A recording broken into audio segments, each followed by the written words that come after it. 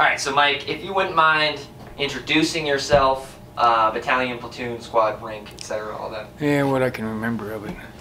Uh, my name is Michael Thompson. I uh, served in Vietnam with the 199th Light Weapons Infantry, Charlie Company, um 3rd Infantry. I was born in Franklin, Indiana. Mm, The first thing I heard. Well, it basically right before the Kennedy assassination, I guess. We, was, we we had Green Beret troops in there. So we were getting a little, you know, televised information back then, but nothing like the later years of the war. Yeah. Know. And so were they discuss- Were they talking about the communism over there or anything, or were they just saying we're helping them fight some Yeah. war? Helping them fight the communists. Okay. we, were, we were trained like the Montagnards in the South Vietnamese army, and my dad was in the Navy, and I was actually staying with him at the time in Charleston, South Carolina. So you know he was cool with it. My parents were back in Indiana. I mean, my mom and stepdad were back in Indiana, so I didn't really get a take on that. They showed up after I came back wounded, and had a whole different outlook at things. But you know me going in, I, I, you know, it was just back then. America did what America did, and we didn't ask a whole lot of questions. You know, Mhm. it's like there were guys already coming back. You know. Uh, Oh, when you went in, there was already people coming back. Oh yeah, we uh, the guy that his mother worked for my parents as a cook in the restaurant. Uh, his name was Joe Applegate. He joined the Marines. He came back in a box before I got drafted. Uh, several guys had come back messed up, you know. But like I said, it was just like Yeah, it's just what you did. cars, girls, Mhm. you know, Yeah, yeah. beer. You know. And this, all these gentlemen were out of Charleston. These gentlemen who were coming back. No, those they were out of Monticello. They were out of Indiana. Oh, okay, okay. Yeah, I think I was a little, little, maybe almost 19. Did you have a girlfriend or a wife when you joined? Several. How did they feel about it? Uh, you know, you know the same old story. Were they there for you when you got back? Uh, now that's a long story. I uh, the the main girl I was dating when I got drafted uh, wound up pregnant. Uh, so I took leave, went home, married her. Her parents took her to Alabama and had an abortion and told me that she never was pregnant. It was a kidney infection or some stupid shit. So when I got wounded and sent back, they came to see me in the hospital. I had figured it all out and I ran them out of the room and and uh, when I got out, stayed with them for about a week. One morning I got up and said, I'm going to the store to get some cigarettes and was gone. They had to hunt me down like three years later to, even to get a divorce. It's like, no, fuck you people. Yeah, so she could get my allotment from overseas, which of course she just blew it, you know. So how long were you trained before you were deployed? Um, I think basic training, I think is six weeks. I think AIT, advanced infantry training, is another probably six weeks. And then jump school, which I opted out halfway through jump school, airborne school. I was I was scheduled to be airborne infantry, but I opted out of jump school, so that took me out of airborne. That Just made me what they call a straight leg infantry. Okay, okay. Grunt. We started out with the M14. We were in that transition between the M14 and the M16. Uh, so we trained with the M14 first, and then we went to the M16. And of course, we were trained on the M60, 50 cal. Um, those were the, you know, the, I guess the let's call them rifle types uh, of weapons I was trained on. Of course, you got claymores and hand grenades, blah blah blah, Yeah. other stuff too. Trip, you know, tripwire explosives, det cord, all that kind of stuff. But You know, as far as uh, things I could pull the trigger on, Mhm. it was the M14, M16, M60, and the 50 cal. Okay, okay. And um, so outside of the extremes of happy and scared and all of that, what is the most memorable moment of the war?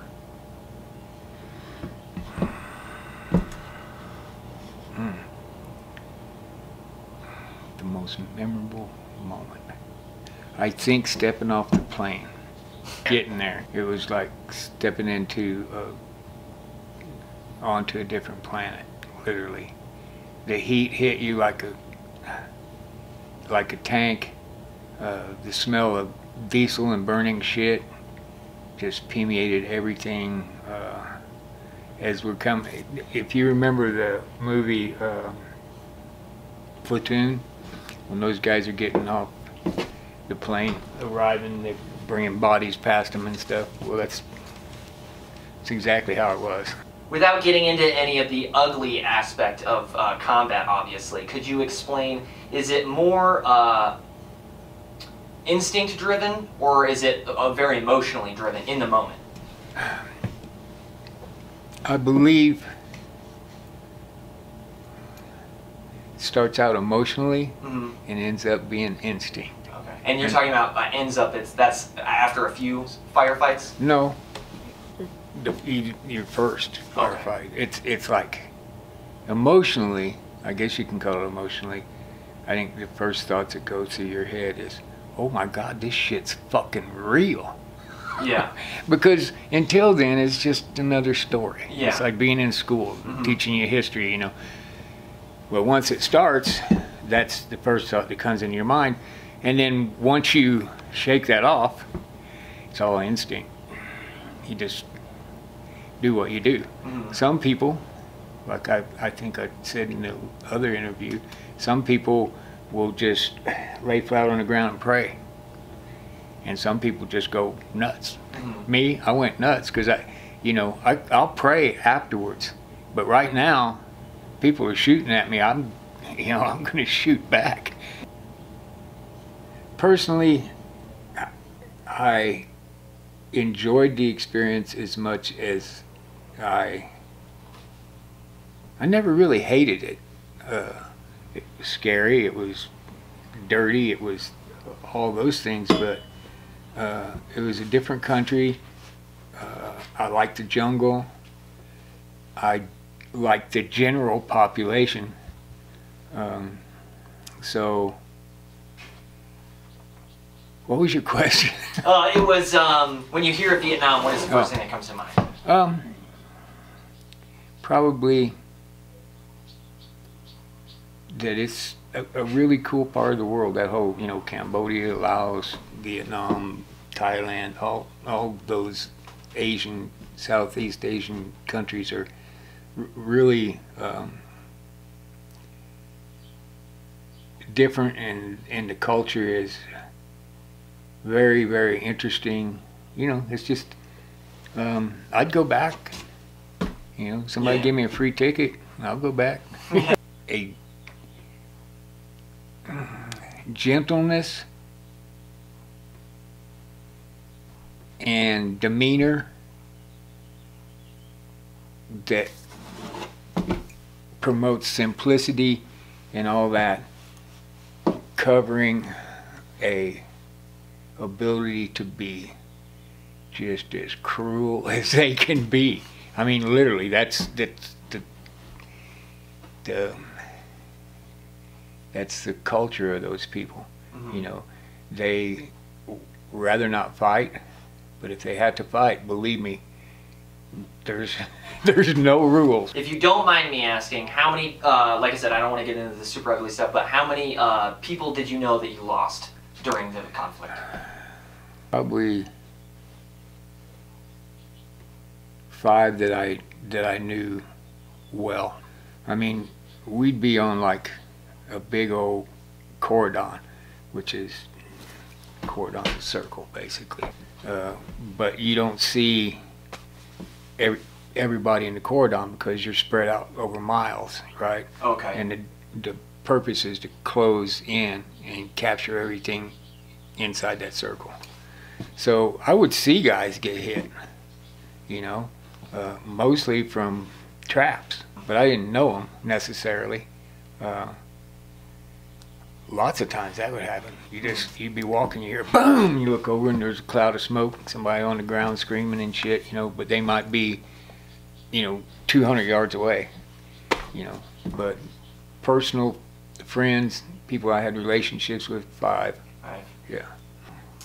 Um, so, given the current state of Vietnam and how it is a thriving society with democracy in place and has adopted capitalism, how do you feel about? Do you feel that what you guys did over there was successful? Do you think that you did something? No.